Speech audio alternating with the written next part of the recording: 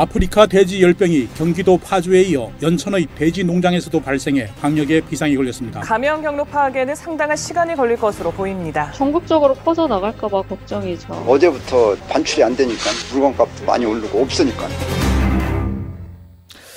예, 어제 아침 제 오프닝은 두 번째 돼지열병 확진 돼지가 나왔다. 이 소식이었는데 만 24시간이 지난 지금까지 일단 확진 돼지 소식은 없습니다.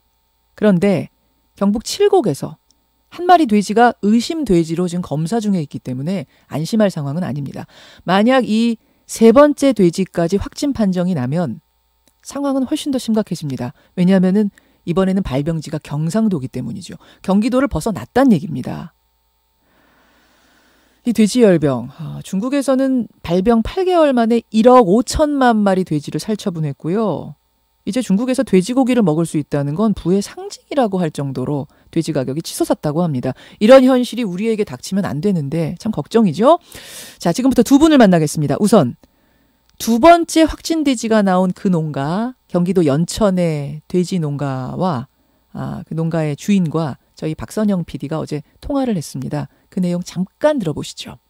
근데 이게 뭔가 전 질병과는 좀 다르다, 이상하다라고 느끼셨던 게 좀 있으실까요?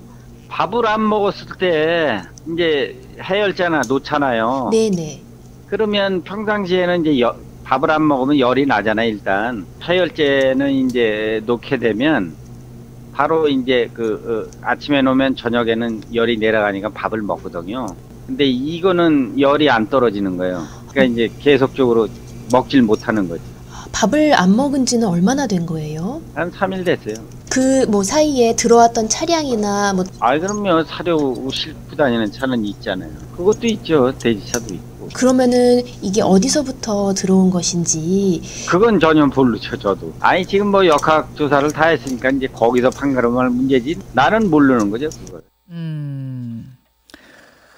어, 증상들이 좀 궁금했어요. 증상을 뭐 여쭸는데 열이 났고 아무리 해열제를 먹여도 열이 내려가질 않더라. 그러다가 이제 죽은 겁니다. 이 돼지는 지금 죽은 상태고 어, 확진 판정을 받은 건데 세 번째 돼지가 지금 검사 중에 있습니다. 만약 이 세 번째 돼지 경상도 돼지가 확진으로 판정이 되면 이건 상당히 심각해집니다. 저희가요 서울대학교 농경제사회학부 문정원 교수를 좀 만나서 조금 더 자세한 얘기, 이 방역은 잘 되고 있는 건지 얘기를 들어봐야겠습니다. 아, 문정훈 교수님 나와 계세요. 네, 안녕하십니까? 일주일 정도를 골든 타임으로 잡고 지금 총력을 다해서 방역 작업을 하고 있다고 하는데 지금 초동 대응은 네네. 어떻다고 보세요? 아, 제가 보는 관점에서는 예. 어, 우리 정부의 초동 대응 자체가 빠르긴 하였으나 예. 조금 더 과감하면 더 좋지 않을까라고 하는 좀 아쉬움을 좀 가지고 있는데요. 과감하다는 건 어떤 건가요? 이 아프리카 돼지 열병이라고 하는 것은 한번 퍼지기 시작을 하면 예. 걷잡을 수가 없고 또 이 돼지는 이 병에 걸리면 거의 100% 예, 치사율에 달하기 때문에 예, 예. 일단 퍼지면 걷잡을 수 없다. 음. 예, 한국의 양돈 산업은 그냥 그걸로 끝이 나게 된다라고 사실 봐야 되거든요. 그 정도까지 보세요. 네, 그렇다면은 어 우리가 생각할 수 있는 최악의 상황을 예. 우리가 이제 고려를 하자면 예. 조금 더 과감하게 예를 들어서 어 방역의 어떠한 범위를 좀 좁은 범위로 하는 것이 아니라 조금 더 광역으로 잡아서 예, 어. 그 문제가 생긴 농장에서 예. 방역 뭐 예컨대 뭐 10kg라거나 예 조금 더 이렇게 넓게 잡아서 그 안에 예. 걸리는 어떤 이제 돼지 농장이 있다라거나 같은 음. 경우에는 정말 피치 못하겠지만 예 음. 그걸 이제 살처분을 한다라거나 예 어. 하는 그런 조치가 있지 않으면 어쩌면 최악의 경우는 우리 한반도에서 이 돼지가 멸종하는 것을 우리가 보게 될지도 모르겠습니다.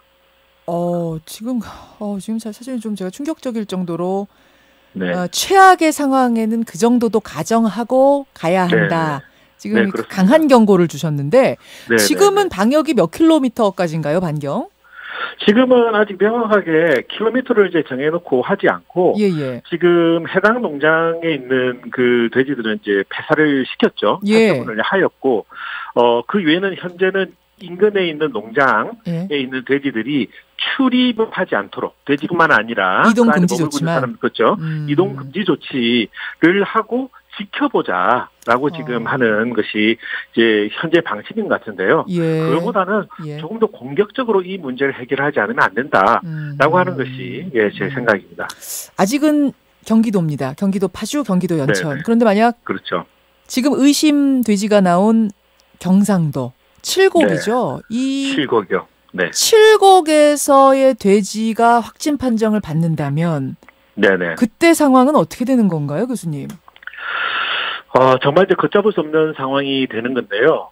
만약 칠곡에서 지금 이 그 돼지가 지금 현재 만약 확진 판정을 받게 된다면 이미 퍼지기 시작을 했다. 어. 왜냐하면 연천이랑 파주는 비교적 근거리지만 저기도 북부로 칠곡 같은 경우는 굉장히 먼 거리지 않습니까? 그렇죠. 이 이야기는 우리가 생각할 수 있는 뭐 멧돼지를 매개로 해서 움직였다기보다는 인간 즉 음. 차량을 통해서 이게 전파가 됐다고 봐야 되거든요. 아, 퍼졌다라는 의미로 보시는 그렇죠. 거예요. 이미 이게. 퍼졌다라고 이제 봐야 되는 거죠. 아니 예. 근데 그 만약 그 경상도 지역 같은 경우도 그 네. 뭐 농가의 주인이 외국을 갔다 네. 왔다든지 뭐 외국인 네, 노동자들에 의해서 옮았다든지 이렇게 독립적으로 옮았을 가능성도 있지 않습니까? 네, 물론 이제 어디에서 처음 유래했느냐라는 예. 것도 사실은 이제 중요하지만 음. 제일 지금 핵심적인 것은 더 이상 퍼지지 않도록 해야 한다. 음. 이것이 가장 중요한 거거든요. 그렇다면 지금 상황에서 음. 봤을 때 예. 가장 선제적으로 막아야 될 부분들은 예. 이미 이것이 터진 곳들, 터진 예. 농장들 이 인근에서 더 이상 이 그 바이러스가 음. 밖으로 나가지 않게 예. 예. 예. 뭐 너무나 가슴 아픈 이야기입니다만 필요하다면 살처분을 했더라도 음. 막지 않으면 안 된다. 그런데 그것이 주로 어떻게 움직이게 되느냐? 주로 그 농장을 출입하는 사람들, 네. 특히 차량들을 통해서 차량. 움직이- 예 때문에 해당 농장들에 들어갔던 차량이 예. 움직이는 동선 안에 들어가 있던 어허. 다른 농장들도 실은 다 방역에 어떤 범위 안에 다 집어넣어야 한다. 예, 그 예, 라고 보는 차량을 자꾸 얘기하시는 이유는 그 차량이라는. 게 이집 돼지 저 집 돼지 날라주는 차량이 있을 테고 사료 네네. 차량, 분뇨 차량 뭐 이런 예. 차량 다 돼지하고 그리고, 연관된 예, 차량이니까 그렇죠. 그 세 가지죠. 예, 그 세 가지는 그렇죠. 어 만약 한쪽 농장이 그 바이러스에 오염이 됐다면 예. 이 트럭을 타고 이 음. 바이러스가 움직일 수 있거든요. 그렇죠. 그렇죠. 예. 그래서 그 동선에 걸려 있는 농장들은 다 무조건 의심을 할 수밖에 없다. 알겠습니다. 예. 교수님 네네. 말씀은 지금 선제적이고 아주 최악의 상황까지 고려해서 방역 네네. 작업해야 된다. 그러니까 좀 심하게 말하면 살처분해야 된다는 말씀이에요. 네, 그- 너무 가슴 아프죠. 하지만 그렇게 하지 않으면 어쩌면 대한민국에 있는 돼지를 다 죽여야 될 수도 있거든요. 아, 그 네. 돼지 열병이 뭐 무섭다 무섭다 하는 얘기는 저희가 지금 계속 드리고 있긴 합니다만 네, 네. 전체 돼지가 멸종할 정도, 그러니까 당분간은 하- 한반도에서 돼지를 볼 수 없을 정도까지의 상황으로 보세요. 그 정도예요? 그렇죠. 왜냐하면 지금 중국의 상황을 보게 되면 예, 예. 이게 뭐 중국 정부에서 명확하게 이야기하진 않습니다만 예, 대략 지금 발병한 지가 지금 8, 9개월이 지났거든요. 그렇죠. 근데 저희들이 추측한데 이건 저희들의 추측입니다. 예. 예. 어, 중국이 보유하고 있는 모든 농가가 보유하고 있는 음, 모돈의 예. 3분의 1 정도는 이미 예, 병에 걸려 죽었다고 보고 있습니다, 저희들은. 그게 한 1억, 3분의 1 이요. 1억 뭐 예. 5천만 마리 이렇게 얘기 나오더라고요. 예. 음, 그게 3분의 1이 죽었다는 이야기는 이게 지금 중국에서 지금 제가 봤을 때는 거의 걷잡을 수 없이 지금 퍼지고 있는데 전혀 지금 손을 못 쓰고 있거든요. 예, 예. 이것이 더 퍼지게 된다면 이것이 1년 후에 2년 후에 중국에 과연 돼지가 몇 마리가 남아있을 수 있겠느냐. 아, 중국의 그 많은 사람들이 특히 요즘 중국의 경제 사정이 좋아지면서 네. 돼지고기 소비량이 계속 올라가고 있거든요. 그 워낙 중국인들이 돼지를 그렇죠. 좋아하잖아요. 많이 키우고. 좋아하더라고요. 예. 예. 이랬을 경우에 우리가 뭐 이런 이야기를 하시는 분들 있으세요. 아, 뭐 국내에 돼지가 생산되지 않으면 수입하면 되지라고 하지만 예. 실질적으로는 우리 옆에 있는 엄청나게 큰 소비국이라 할 수 있는 중국에서 이렇게 돼지의 물량이 많이 부족하게 되면 음. 아무래도 다른 곳에서 수입을 한다고 하더라도 예. 수입을 하기 어렵거나 매우 비싼 가격, 그러니까 음, 소, 음. 한우 가격에 준하는 가격을 최악의 경우에는 지불을 해야 될 수도 있다. 그리고 그것이 품질이 그리 좋지도 않는 예. 냉동 돼지고기를 수입을 했는데도 그만한 가격을 지불해야 되는 소비자 입장에서는 일이 생길 수도 있다라는 음. 것을 각오해야 된다는 거죠. 알겠습니다. 그러니까 이 돼지 열병이라는 거 우리가 한 번도 겪어보지 않은 병이기 때문에 아, 네. 와닿지 않지만 옆에 이미 8, 9개월째 이 돼지 열병을 앓고 있는 중국을 보면 이게 네네. 상상 초월의 상황이다. 그래서 선제적으로 공격적으로 좀 방역을 하자라는 말씀. 그렇습니다. 어, 감염 경로가 지금까지는 오리무중입니다. 아직 안 밝혀졌죠. 그렇죠. 예. 첫 번째 케이스, 두 번째 케이스 뭐 다 안 밝혀졌는데 네네네. 지금 뭐 나오는 얘기들 종합해 보니까 첫 번째 가능성은 잔반.